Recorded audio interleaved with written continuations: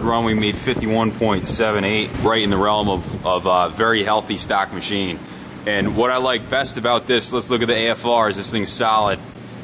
Here, let's, let's pull it up here. Air fuel's dialed. What do you have for jets in here right now? Uh, 55 pilot, 170 main. It's on the third clip on the needle, stock needle.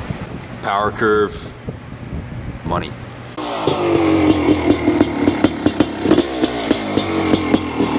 Super crisp.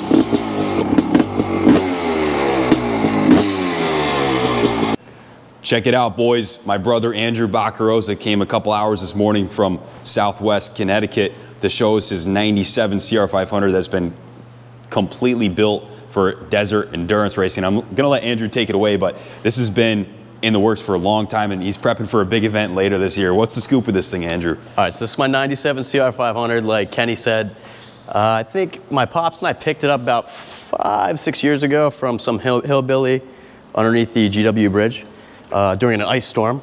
So I took it home from there, and uh, it had some really nasty looking black plastics on it and some dragon seat cover or whatever. And basically just stripped it down. Didn't take it down to the frame that time, but I uh, just did plastics graphics, and uh, I think I put the A60s on it, laced those up to the stock hub.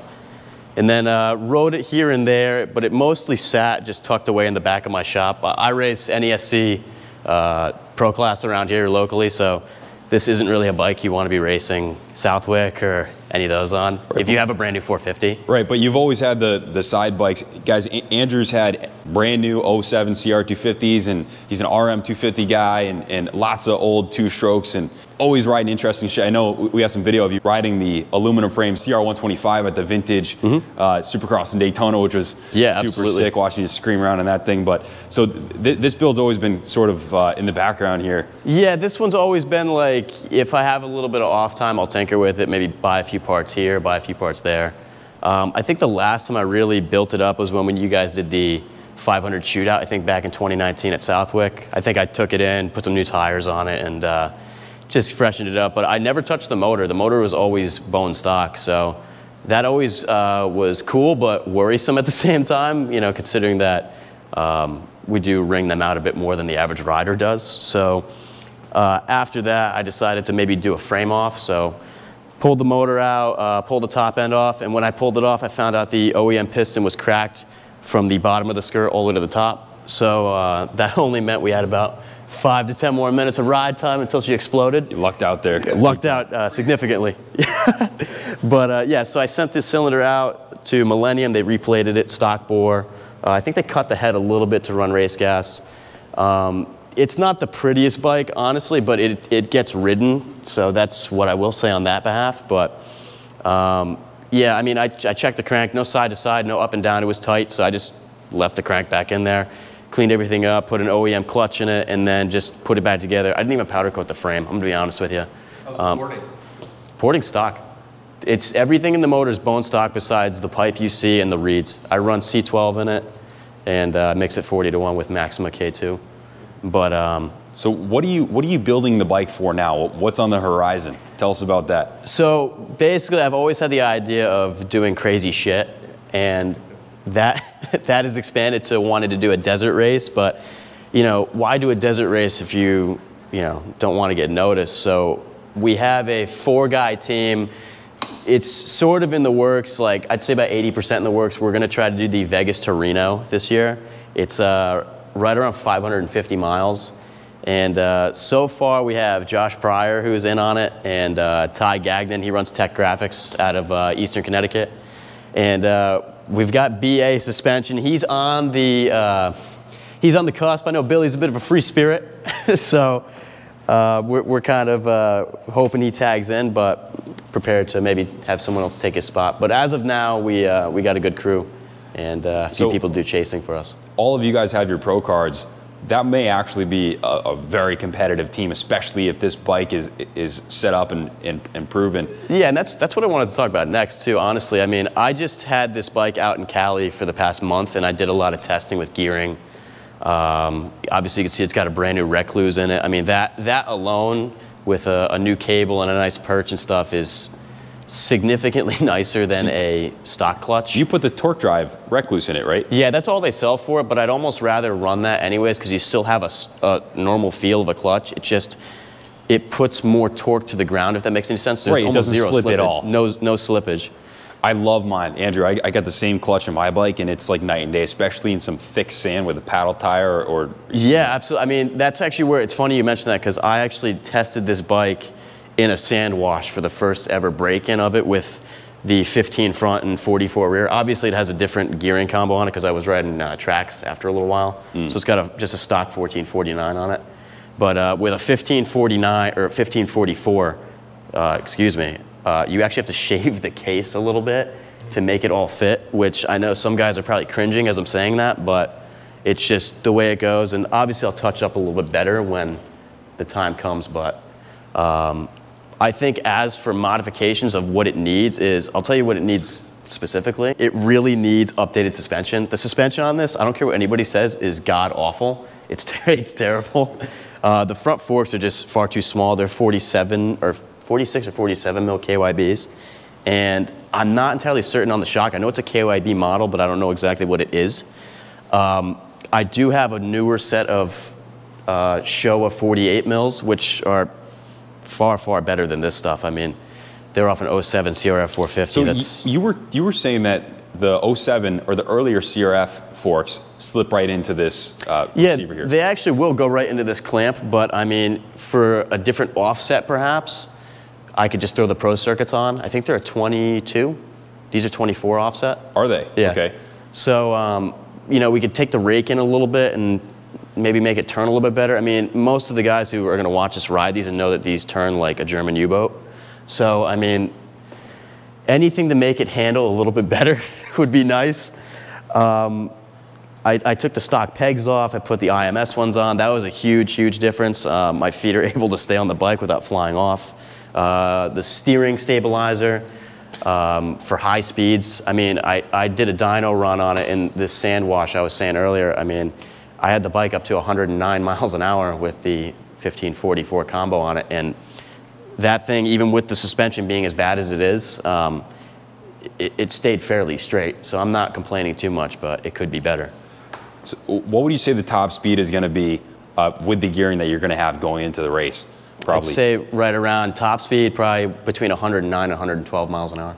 So we, uh, we were talking on the phone the other night. Uh, we're going to do some dyno testing, uh, put the sniffer on it and see what it's doing under load um, and make sure that that is ready to go and it's going to make the race uh, no matter the conditions and when it's getting wrung out at, uh, at top speeds, which I'm sure it's going to be a, average it out, it's going to be a fast race. This I, thing is going I think average is right around 65 miles an hour, which is really fast. With stock you're gearing, the, you might grenade a bike out. uh, Oh, you would yeah. absolutely grenade a bike. I mean, It's going to be running hot. It's going to be. Uh, it's going to want to lean out. You Yeah. look at this, all this stuff before you go out, or you're going to get a DNF after you transport, you know, a team of guys and, and four riders Yeah. out. Uh, West Coast is a big commitment, so we got to make sure that this thing's going to be dialed in. For sure, and uh, you know, I mean, you know, suspension, gearing, um, those are all significant things. And uh, another thing too that I really notice is when you're riding it at speed for a while. Um, and I, when I did this test in this sand wash, I keep mentioning it, but I noticed a few things when I did this. Um, your hands would go numb after like six or seven miles. Like I'm talking like you couldn't even feel the, the brake or the clutch lever. Um, and, and that's just because when you're at such a high speed, the bike, honestly, it, it gets a little upset. It doesn't like it too much because no motocross bike is meant to go triple digits. So, right, single cylinder, lots of. yeah, there's a lot going on here. And, and when you really think about it, when you take all the plastics off, there's not much to these bikes. Right. You know, it's just you basically you got a motor, a carburetor, and, and a frame there. You know, I mean, there's no crazy electronics or anything. So they're fairly simple to work on, but um, to get it to be 100% is the tough part. So what are we going to do vibration wise to to combat that? Because it is a 500, and uh, It's going to vibrate no matter what. I, I know Pastrana TP199 was talking about filling the bars with silicone on the RM Zilla that he rode at Straight Rhythm, the uh, CR500 powered RMZ chassis. Um, anything with that potentially? I didn't even think about that, but I mean, we could do that. But I mean, my biggest one, and from what I was reading about the Team Green bikes, because they race KX 500s up until 05. Right. You know, um, they would weight the cranks a bit differently, so that way they would. Um, it's almost like adding a flywheel weight, but a bit different. It doesn't change the power curve as much as a flywheel weight would. But Okay. um, you know, when you add a bit more weight, it kind of reduces the vibration and it settles the bike down a bit, especially at speed. Interesting. So who's going to do that for you? I think I'm going to send it to Crankworks. Okay. And then uh, I'll have X Pro right right in town here. Uh, we'll just take it apart and we'll press a, a Wossner rod onto that. We'll just send them the rod Yep. and everything and have them do it. It'll just be put on the stock crank. Um, I don't want to put a hot rods crank in it because me personally, I've had them grenade and I'm not a big fan of them. Yeah, I've been told uh, there were runs of the hot rod cranks that weren't as good. No. Then again, I, I have a bike that we put 30 hours on. Yeah, I mean, th- no they're hit or miss. I mean, I've had bikes you put 80 hours on a crank and the crank's fine. I've had bikes with 15 minutes on them and the crank locks up. Right. So I mean, and, and these are all two strokes that I've put these cranks that I would never put one in a in a four stroke. But um, yeah, I mean, other than that, I mean, we'll probably put a, a Wossner piston in it, get the cylinder redone again just to have a fresh bore, uh, maybe cut the head a little bit more. Um, you know, run C12 in it and uh, just clean up everything. Run everything OEM because nothing's nothing's better than stock if you want it to be reliable. Right. So I know in our testing, as far as bar setup goes, to combat that vibration, we went from the twin wall, uh, which is a reinforced bar, Mm-hmm. to the fat bar, which you have here, which uh, helps a little bit. It's more free, free bending bar. More bar, flex, yeah. more bar flex, and also the Mako uh, bar clamp, which was tremendous. Uh, I know you have the Scott's steering stabilizer on, on there. Maybe uh, Mako, we can give them a call and see see the rubber isolated uh, bar mounts. These actually have rubber mounts in them.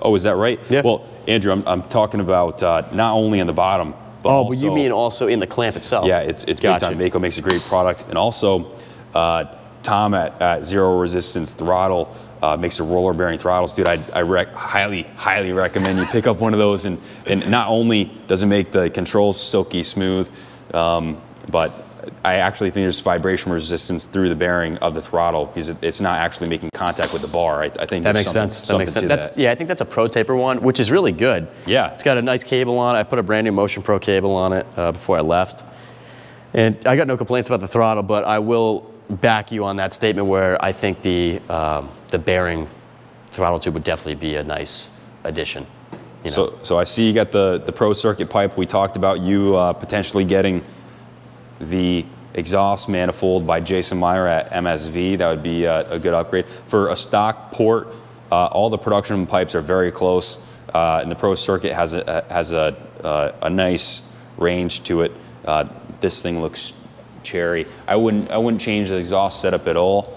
Um, maybe an MSV exhaust flange.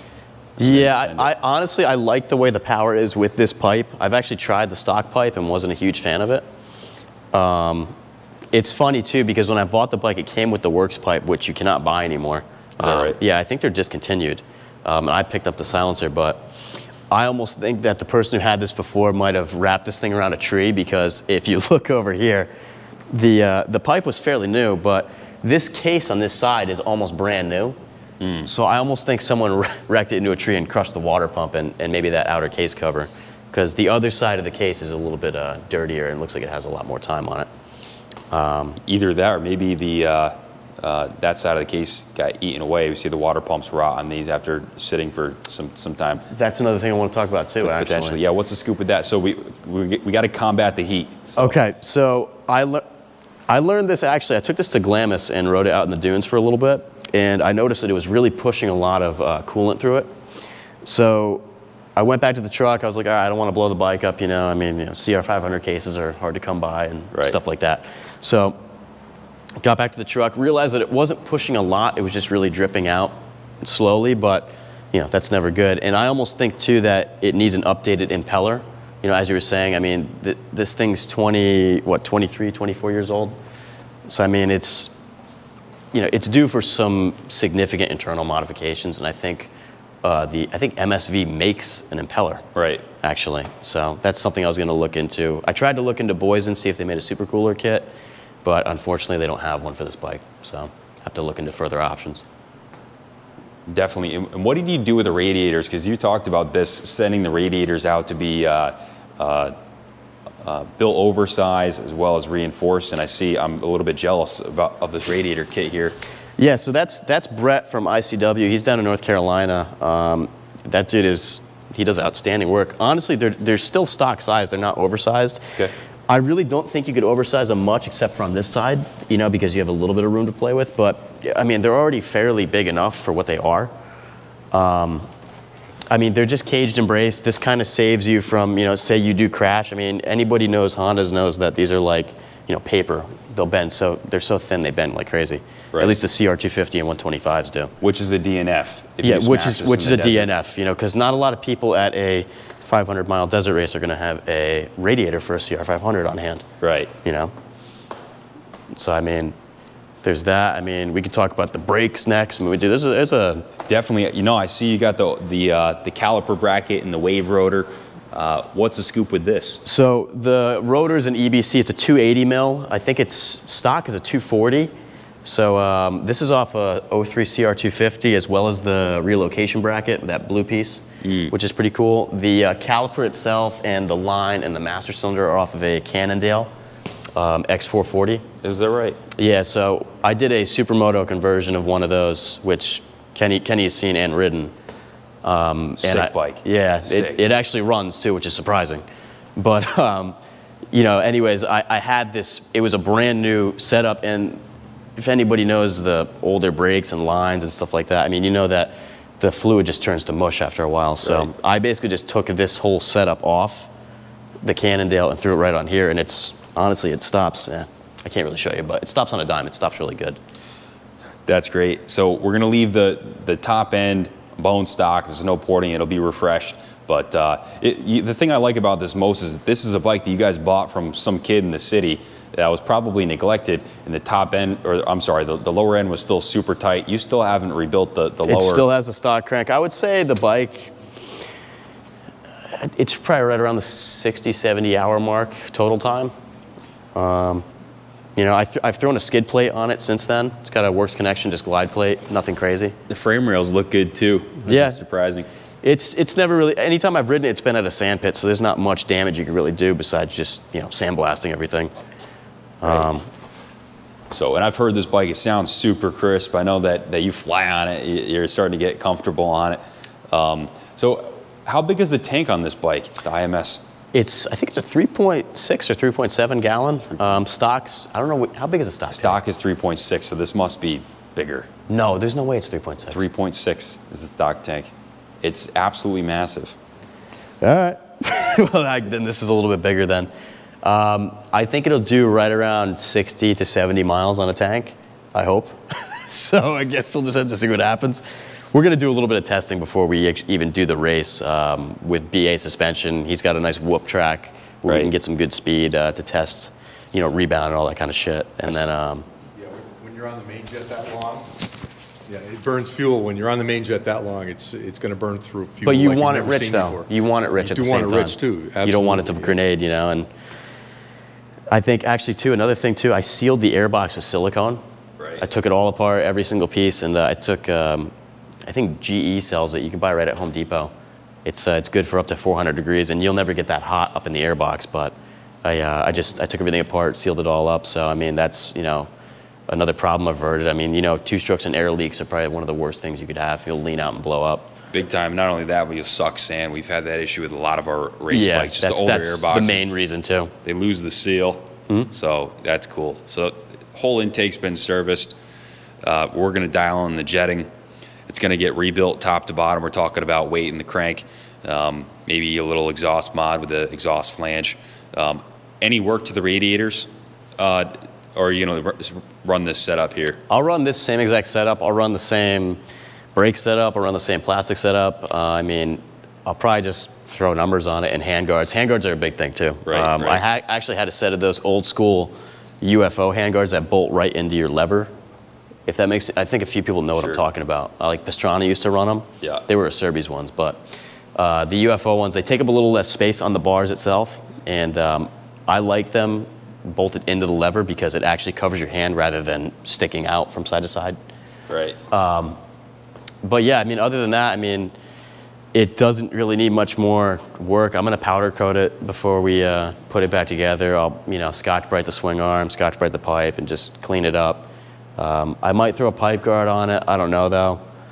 That wouldn't be a bad idea. You dent the pipe and Probably just carry an extra. Have a few sets of wheels. I mean, definitely. you know, a couple air filters. Probably need a few gallons of fuel. Honestly, like a title sponsor would be sick, but Yeah, right. you know, Yeah, we'll have to talk after the video here. we'll, we'll have to talk afterwards. Yeah, But definitely. So um, potentially some CRF forks, uh, maybe refresh no, the shock. defi- definitely, some Definitely CRF, CRF, definitely some CRF CRF forks. So we, we talked about the, the the water pump mod, basically everything we do for for the motocross bikes, except that that you know, of course, the gearing mod, which I know you did some testing.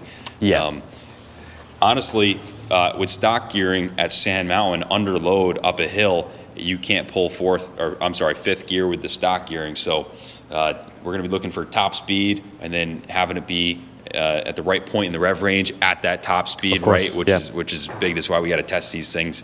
These things start to tremor over 7,000. That's when they start to vibrate excessively and then That's when you're losing off. bolts and uh, teeth and fillings and. Uh, Definitely, maybe some Loctite in the back pocket, huh? You know what's funny is I've never really liked Loctite. I've always used either. I've never really had bolts fall out of this thing, as crazy as that sounds. Um, I use the Honda, the Honda Bond stuff. It's like thread lock. Honda Bond, yeah. It's uh, the green one. That stuff is 10 times better than uh, Loctite because Loctite gets crusty, whereas the Honda Bond, it goes in wet and it'll lock right into the thread.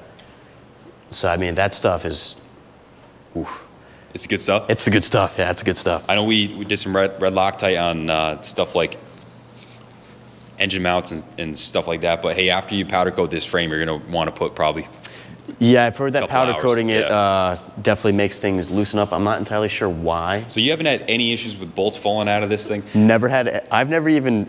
I don't think I even put Loctite on the motor mount bolts. Are you serious? And they're not even loose. And I've had the engine out of the frame. Well, Once you powder coat it, They'll get. They'll come loose. they're, they're gonna come loose, even uh, torqued to factory spec, they came loose at Daytona on you, Kenny. I remember that. Yeah. Yeah, two laps into practice, and the first one was already backing out. so it's, uh, but this one, she's been worn in, and uh, everything is settled nicely, and no issues with with with hardware. So, yeah, man, uh, you know, um, just a testament to the CR500, a bike with lots of time that Andrew bought secondhand, and now it's being prepped for a very serious desert race. We're going to have four uh, pro class uh, um, pro card holders go out and go to battle in the desert with this bike um, against against modern equipment as well. Yeah. I mean, HRC will be at this race. Uh, I know they do a lot of testing for Dakar. Okay. You know, they test their Dakar bikes out there. So I mean, those those bikes do right around the same speed, I would think, probably right 110, 112 miles an hour. Um, KTM will be there, Husky. I don't know if Yamaha does this race anymore. I don't think uh, Kawi does, but those three uh, manufacturers will definitely be there, and we'll definitely be up against them in the same class on this bike that's over 20 years old. Dude, there were some kids who tried to do this last, uh, I think last year, and they had a 1542 on the bike, Yeah. and they only made it like a mile in? And the bike grenaded. Are you serious? Yeah. So my goal, my goal is to make it past the mile mark. We make it past the mile, we win. Set the bar low there no? Set the bar really low. But no, I mean, if you know Timmy at X Pro, he's a really good guy. The guys at Crankworks, they do all the cranks for the Star Yamaha team. I mean, wh- why couldn't this bike finish that race? I mean, it was it was basically made to do that. Look at the KX500. They raced it all up until the new 450 came out. I think they were running a 1642 on their Baja bikes back in the day, which is 120, 120 miles an hour, something like that. A friend of mine has Danny Hamel's bike, and uh, you know it has special cases just to make everything work. For the bigger, Yup. bigger counter shaft sprocket? Oh yeah. Oh yeah, and, and we were actually talking. That's another thing too we can talk about. So, my friend Frankie Panino, he, him and I were talking about. You know, he wanted to be on the bike and on the team, and then he's like, you know what, man? He's like, fuck that. He's like, I got the Danny Hamel bike back at home. He's like, I'm gonna race the Kawi against the Honda, and he's like, I'm gonna get my own team of guys. And I'm like, dude, I like this. You know, this is like. We have our own race inside of the race. You know, we got to see who finishes first and stuff. So That's what's up. I dig it. You know, a little friendly competition on top of the already pretty, uh, you know, It's going to bring your game up even Yeah, higher. it'll, it'll bring it'll bring the game up even higher. Yeah, you said it perfect, Bill. Um, but yeah, man, it's just uh, just it's something cool, man. Big time. It's just something cool. How many racers at an, at that event would you say? I don't know if there's. I, I'd say there's probably hundreds. Yeah. Hundreds of teams. Yeah. Hundreds of teams. Hundreds of teams. I think Billy knows a little bit more about it. I kind of been all randy about the idea and not really looked into it too much. But you know, I will definitely do it. That doesn't mean I won't do it. But um, you know, got to get definitely get your equipment and source before you sign up for the race. That's not even a big deal to sign up. So you've got a lot of work to do. Uh, we're going to check back in with you. Guys, stay tuned on Andrew's journey to take this thing to the Vegas to Reno. You know, if you start, if you do some testing at Ainsworth, hit me up. Maybe we'll go out and do some riding with you. That'd be sick. Yeah, absolutely. Footage at the course, and uh, we'll follow the saga here of Andrew prepping the uh, the Bronx '97 CR2 CR500. Um, absolute workhorses of, of bikes here. Monsters, monster torque, um, and I, I'm sure. I mean, in a straight line, this will give the new bikes run for their money. So Oh, absolutely. I'm sure the factory bikes prepping for that event won't won't have any more horsepower or torque. We can pretty much guarantee that. So set up properly. Uh, this is going to be a real weapon here, and I'm looking forward to seeing what you guys can do with it at, at uh, the Vegas to Reno. So, Baco, thanks for bringing the thing down. I think now we're going to throw on the dyno. We'll talk about that, but thanks for watching, guys. Uh, leave a comment. Let us know what you think. Um, we want to see some of you guys doing shit like this. Hey, maybe we'll get a trailer going out, and if a couple if a couple other guys want to race, we'll bring bring some bikes. Yeah, I would love to see a few guys on, on big bores do it. I feel like that'd be a pretty cool thing. Um, haven't seen them out there in what 15 years probably. I have to go on the More. Big Bore Addicts Facebook page and see if anyone put their money where their mouth is. You know, so. Let's see what's up. Let's go. Bring it. All right, guys. Thanks for watching. Good. Uh, I was about to say good luck bidding. God bless America. No, it's not for sale. It's not, for sale. Not for sale.